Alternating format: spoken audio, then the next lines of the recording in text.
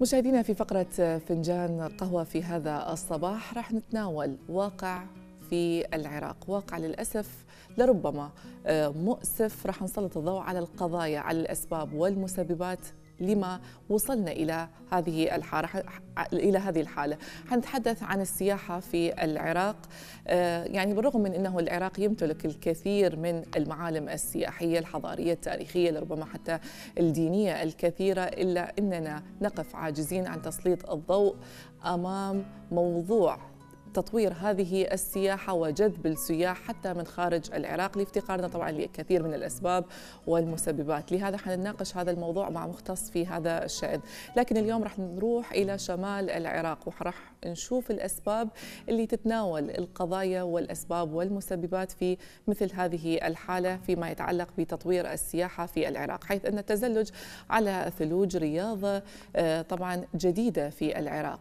لتتوافد العوائل والسياح حتى إلى جبل كورك في أربيل لاغتنام الفرصة وحضور الموسم الثاني للتزلج. إذا عن هذا الموضوع نتابع هذا التقرير. ما إن انتصف النهار حتى انطلقت فعاليات المهرجان الثاني للتزلج على الثلوج فوق قمة جبل كورك في أربيل لتضفي بهجة الحضور رونقا على جمال الطبيعة الخلابة. الفعالية التي أقيمت اليوم على قمة جبل كورك لها أكثر من استفادة. أولا تشجيع هذه الرياضة. بالإضافة إلى ذلك تشجيع السياحة الشتوية في إقليم كردستان. رياضة جديدة على العراق.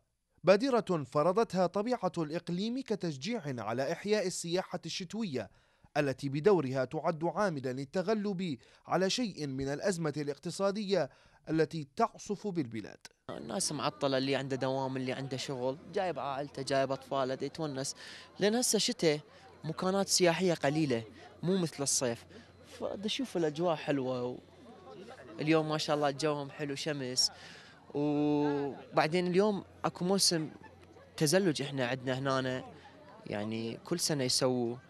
والله مسابقة حلوة وفشي جديد يعني جينا هاي الموسم الثاني مال التزلج وفشي جديد يعني بالعراق وحلوة ومتونسين جمال الثلوج آنست زائريها قرصاتها فقصدته العوائل كسياحة وانتظار لانطلاق سباقات التزلج كترفيه يوافق إجازة المدارس نصف السنوية. جميلة جدا. جو يعني أحلى من الربيع. حلو. يعني شفنا مناظر خلابة كنا محرومين منها بصراحة. فطرة حب الحياة. كانت دافعا لإحياء رياضات ووسائل ترفيهية تعطي للسياحة واجهة أجمل ومردودا اقتصاديا أوفر. إذا مشاهدينا الحديث أكثر عن هذه التفاصيل معنا من أربيل محمد زنقنة المنسق الإعلامي لهيئة السياحة في أربيل. صباح الخير محمد. أهلا وسهلا هنادي صباح الورد. صباح الأنوار. يعني جميل جدا إنه نشوف المناظر السياحية في العراق في شمال العراق في جنوب العراق. نملك الكثير من الثروات نملك الكثير من الحضارة والمناظر الجميلة. لكن نبقى نقول إنه إحنا في العراق نقف عاجزين عن تطوير الأماكن السياحية في العراق عن جذب الكثير من لربما عامل اقتصادي تكون داعم لخيرات وثروات البلد لكن يبقى عندنا ملف السياحة متأخر قليلا برأيك كيف هو واقع السياحة في أربيل وكيف تم تنشيطه في الفترة الأخيرة؟ نعم اولا تحية لشخصك الكريم وجميع العاملين في القناة وبياني باش تعني صباح الخير طبعا بالكردي. في إقليم كردستان هناك مقومات كبيرة جدا وكثيرة للسياحة ولكن للأسف بسبب السياسات الخاطئة للحكومات السابقة قبل 2003 هذه الملفات لم تنجز يعني بالشكل المطلوب وحتى بعد الانتفاضة وبعد سقوط النظام السابق لم تكن هناك فرصة كبيرة جدا والسياحة اقتصرت فقط على فصل فصل الصيف وبشكل غير منظم. يعني كل واحد مثلا ياخذ عائلته ويروح على أماكن سهول أو جبال أو وديان. وفصل ال- الربيع وحتى نهاية الصيف كان فقط هو فصل خاص للسياحة. في حين إنه لمعلوماتكم من خمسينيات القرن الماضي وعندما نعم. كان الإنجليز مسيطرين على المنطقة بشكل كامل كانت هناك مسابقات للتزلج تقام في كردستان في منطقة حاج عمران. ولكن هذه المسابقات توقفت بسبب الظروف السياسية. بالإضافة إلى ذلك هناك مشاريع سياحية كبيرة كانت قيد الإنجاز مثلا ربط السليمانية بأوروبا عن طريق خط سكة حديد هذا أيضا لم ينجز. بالإضافة إلى ذلك حديقة جلكند التي ترمم حاليا آه، في ستينيات القرن الماضي عندما كان آه، المرحوم عبد المنعم المصرف محافظا لأربيل. نعم. نفذت بالتعاون مع صندوق الغذاء العالمي. اذا كل هذه المشاريع ليست بالجديدة ولكن السياسات هي التي أجلت هذه المسائل. السياحة الشتوية في إقليم كردستان أعتقد كانت مبادرة جميلة جدا ورائعة من قبل هيئة السياحة في إقليم كردستان. نفذت لأول مرة عام 2014 آه، من خلال آه، مهرجان التزلج على الجليد. آنذاك كانت أربيل عاصمة السياحة العربية على مستوى أكثر من 20 دولة عربية. ولكن للأسف أيضا الحكومة العراقية عندما قطعت حصة الإقليم من الموازنة العامة العراقية نعم. هذه المسألة لم تستمر. وعندما آه، يعني آه، آه، نفذنا الجزء الثاني أو الموسم الثاني من هذا الموسم أو من هذا هذه المسابقة كانت المسألة فقط نعم. قطاع خاص وشركات. ولمعلوماتكم هناك أيضا في العشرين من هذا الشهر يعني 20 شباط إن شاء الله مسابقة أخرى أو عرض آخر للتزلج على الجليد في منطقة حاج عمران ولكن هذه تابعة للقطاع الخاص وتحاول حكومة اقليم كردستان عن طريق هيئة السياحة المشاركة لدعم هذه المسابقة. حلو. يعني هناك خطوات عملية لتنفيذ مثل هذه المشاريع لجذب السياح لزيادة خلينا نقول آه، إقبال الناس على مثل هذه ال- المناطق آه، يعني مثل ما قلت وذكرت إنه فصل الشتاء فصل لربما قصير في آه، في العراق لكن هي طريقة جديدة خطوات معناها هناك عملية آه، جميلة لاتخاذها وتم اتخاذها حتى تجذبون مثل هذا النوع من السياح. برأيك يعني هل تتم هذه الطرق أو الخطوات بالتعاون مع آه، هيئة السياحة أم مع وزارة السياحة أم مع شركات خاصة، كيف يتم التنسيق مع هذه الجهات حتى نقدر نوصل إلى مرحلة متطورة ونقول إنه العراق بالفعل أصبح مكان لملاذ العراقيين على الأقل إنه يستمتعون في وقت معين من ال- السنة.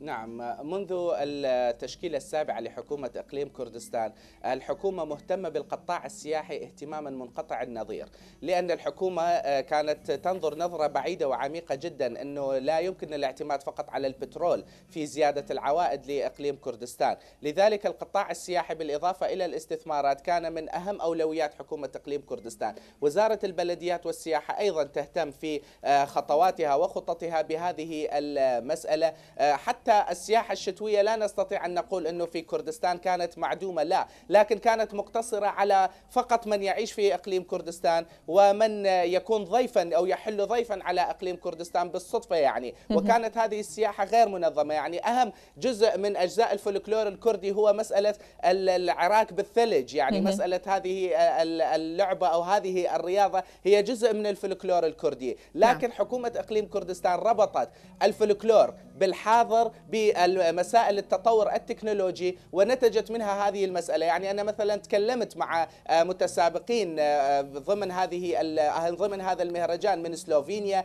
من الولايات المتحدة من أستراليا. آه، كانوا يقولون بكل صراحة المقومات قوية جدا في إقليم كردستان ونتمنى أن تكون هناك مسابقات تستضيف الفرق الدولية والفرق العالمية للمشاركة في هذه المنطقة. أولا للتعرف على كردستان جغرافيا وبالإضافة إلى المقومات الأخرى للإقليم. ثانيا عوائد زيادة عوائد لإقليم كردستان وعدم الاعتماد على. النفط. ثالثا وهو الأهم تشجيع هذه الرياضة التي ليست لها جماهيرية. طبعا هي رياضة جديدة تقر- في إقليم كردستان. مثل ما قلت بالخمسينات كانت موجودة لكن موسم واحد تم تنفيذها بإشراف الإنجليز وقد نسيت هذه الرياضة تماما. بالإضافة إلى ذلك هناك الكثير الكثير من المشاكل التي تعترض آه، المشاكل إذا كان نفسية أو سياسية أو آه، اقتصادية نعم. تعترض هذا الإقليم وتعترض المواطن في الإقليم هذه راح تكون وسيلة ترفيه لهذا المواطن بالإضافة جميل. إلى ذلك استقطاب عدد أكبر من السياح وخصوصا من جنوب العراق هذه المنطقة يعني معروفة بحرارتها الشديدة طيلة بالفعل. أيام السنة حتى بالشتاء تقريبا يعني فيها درجات حرارة عالية لذلك يعني كل هذه المسائل تشجع حكومة إقليم كردستان على المضي قدما في تحقيق هذا الهدف نعم. والاهم من كل ذلك التعاون مع الإعلام. يعني مشكورة الهيئة العامة للسياحة في الإقليم تنسق دائما مع الإعلام وخصوصا الإعلام العراقي العربي الأجنبي لتغطية هذه الفعاليات. ونتمنى أن تستمر نعم. هذه المسألة. يعني وصلنا إلى نقطة مهمة. حضرتك أشرت إلى دور الإعلام إلى دور الترويج أيضا عن هذه المناطق. إحنا بال- بالفعل بحاجة إلى الترويج عن المناطق الآمنة. يعني على الأقل إنه ما يخدم آه، إقليم كردستان إنها منطقة آمنة ممكن لأي سايح حتى من خارج العراق إنه يأتي إلى مثل هذه المناطق الاستمتاع بالكثير من المعالم الجميلة الحضارية ال- المناظر الطبيعية الموجودة في آه، في الشمال. آه، دور الإعلام برأيك كيف تعطي لهذا الإعلام المساحة؟ كيف ممكن أن نهتم بهذا القطاع حتى نروج لمحافظاتنا الآمنة على الأقل؟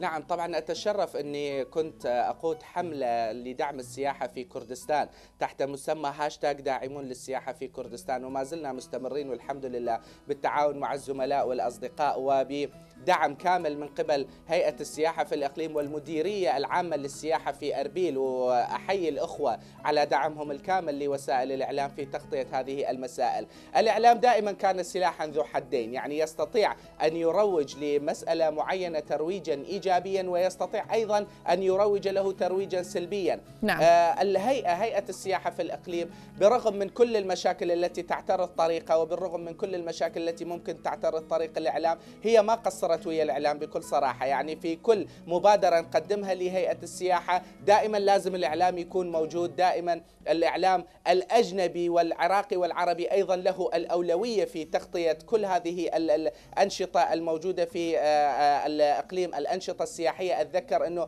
في فصل الصيف الماضي كانت لنا زيارة لبارزان وزيارة مزار الخالدين المرحومين القائد مصطفى البارزاني والشهيد إدريس بارزاني. كانت لنا زيارة لكهف شاندر كانت لنا زيارة لمناطق في حاج آه، في حاج عمران الثلج يبقى فيها حتى في آه، أحر أيام الصيف. يعني حلو. أعلى درجة حرارة تسجل في هذه المنطقة هي 24 درجة مئوية. اذا كل هذه المسائل لا يمكن التسويق لها ولا يمكن نجاحها بدون الإعلام، أكيد. يعني إذا ما إذا ما شاف المشاهد كل هذه المناظر الطبيعية، كل هذه المقومات عن طريق الإعلام وخصوصا ما شاء الله القناه قنوات ال- الفضائية موجودة، الفيسبوك والسوشيال ميديا موجود، آه، الاتصالات المباشرة عن طريق الإنترنت موجودة، اذا كل هذه المقومات شجعت الإعلام على تغطية كل هذه المسائل بالإضافة إلى الوسيلة الترفيهية، يعني في هذه الفترة للأسف الأخوة الإعلاميين دائما إما كانوا في الجبهات أو في الحروب أو تغطية أخبار الحروب، مسائل السياسية،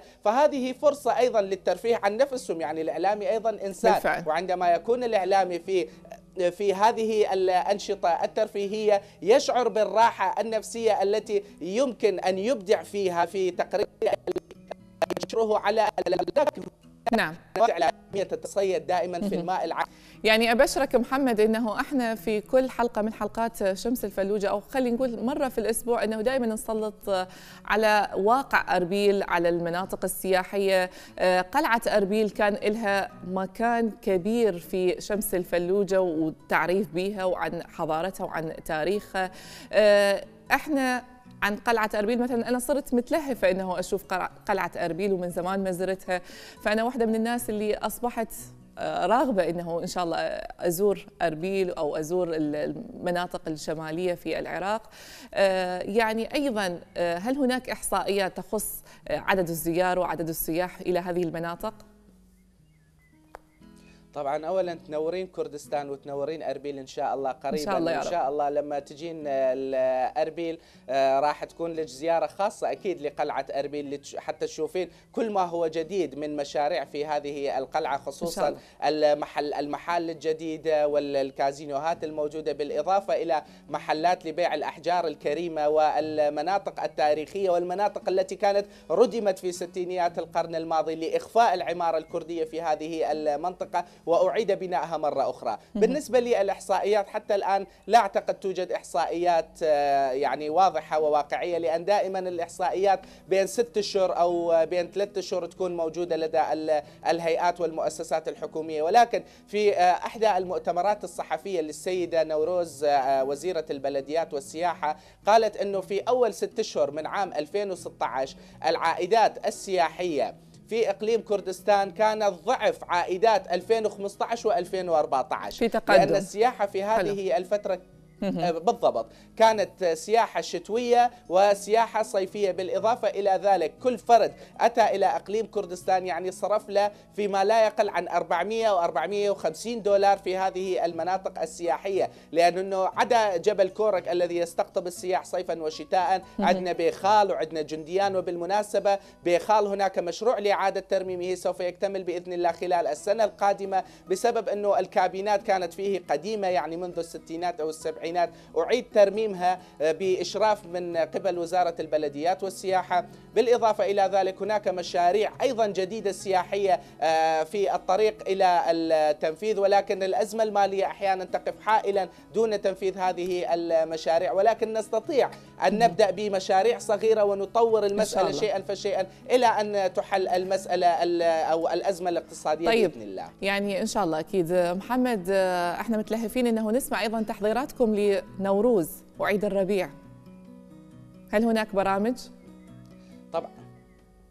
طبعا هناك دائما من يوم 11 آذار وحتى 20 آذار في كل عام.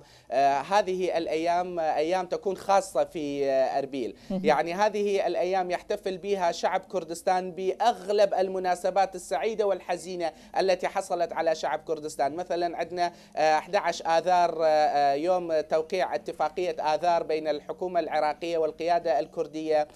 ويوم أيضا تحرير أربيل من الدكتاتورية بعد الانتفاضة عام 1991 عندنا 16 آذار ذكرى قصف حلبجة عندنا مثلا 20 آذار شعلة نوروز وهكذا يعني. آه، كما سمعت من بعض المسؤولين في محافظة أربيل هناك تحضيرات ل إعادة هذا المهرجان في هذا العام مرة أخرى خلال العشرة أيام ال- الأخيرة يعني من شهر آذار. وبالتأكيد شعلة نوروز سوف تكون موجودة في يوم العشرين من آذار بإذن الله في إحدى باركات إقليم كردستان. والجميل أنه في العام الماضي يعني الشعلة ما كانت شعلة واحدة في بارك شاندر كانت أكثر من شعلة لتفادي الازدحامات وليكن هناك آه، أكثر من مجال للإعلاميين للتصوير. فهناك فعلا تحضيرات للاحتفال بعيد نوروز حسب ما سمعت من الأخوة في محافظة أربيل. هناك أيضا فرق سوف تشارك في الفعاليات وهناك أيضا فعاليات فنية رياضية ستقام في هذه المسألة بالإضافة إلى آه، استذكار لبعض الذكريات التي حصلت. يعني شهر آذار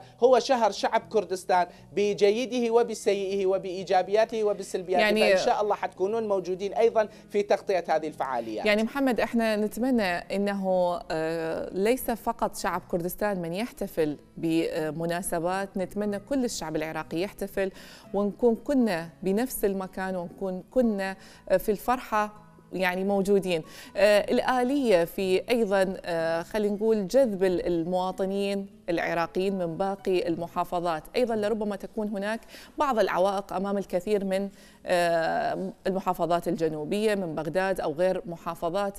يعني هل هناك سيتم خلينا نقول قليل إذلال القليل من العقبات أمام زوار وزيارة هؤلاء المواطنين العراقيين الذين طبعا مو يعتبرون من إقليم كردستان من خارج آه، الإقليم، هل هناك آلية جديدة للتعاون في هذا المجال؟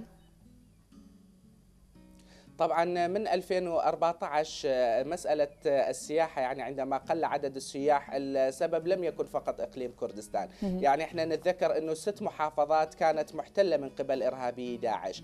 أطراف كركوك كانت مهددة من قبل إرهابي داعش. ومو كل واحد يقدر آه، يجي لإقليم كردستان بالطيارة. يعني لا, لا يوجد هناك الكثيرين من ميسوري الحال. إذا الطرق كلها كانت مهددة. يعني الطرق في أطراف كركوك العظيم مثلا ديالى هذه المناطق كلها كانت مهددة.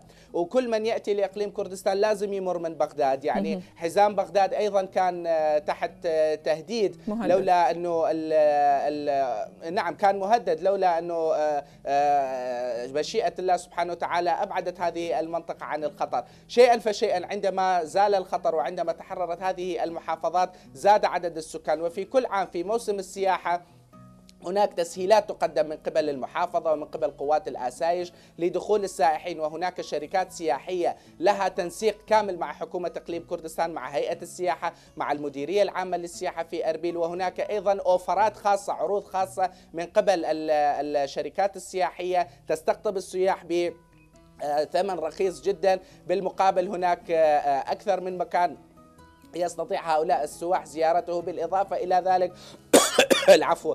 بالإضافة إلى ذلك هناك تسهيلات للدخول للعوائل مثلا للشباب.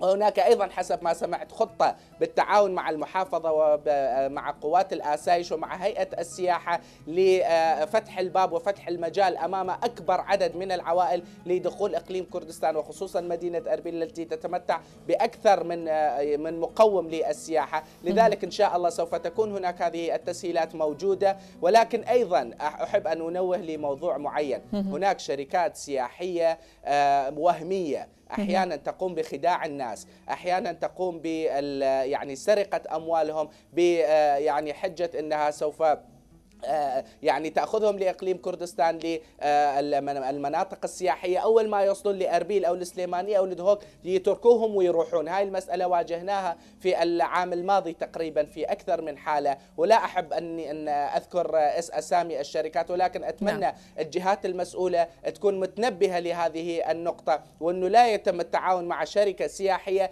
إلا إذا قدمت كل أوراقها الثبوتية ويتم التأكيد من ذلك عن طريق المؤسسات الحكومية الموجودة في بغداد. تقريبا هي فقط هذه المشكلة الوحيدة لكن المشكلة من قبل حكومة اقليم كردستان تقريبا تم إزالتها وهناك تسهيلات وخصوصا لدخول العوائل. لأن إقليم كردستان هو اللي يريد يستقطب أكثر عدد من السياح نعم. وقوات الآسايش تحميهم اولا ومن ثم تحمي إقليم كردستان. لأن كما تعرفون إنه الأمن هي نعمة من رب العالمين وإذا آه، زالت هذه النعمة لا إحنا ولا باقي المواطنين راح نقدر نتهنى في هذا الجو المشحون بالإرهاب وبالحروب وبكثير من المشاكل التي تواجه المنطقة. جميل جدا يعني آه، بالفعل أشرت إلى موضوع مهم هو الأمن يعني إذا ما كان عنصر الأمن موجود أكيد لن تكون هناك سياحة لن يكون هناك تمتع في مثل هذه ال- المناظر الجميلة. بالضبط.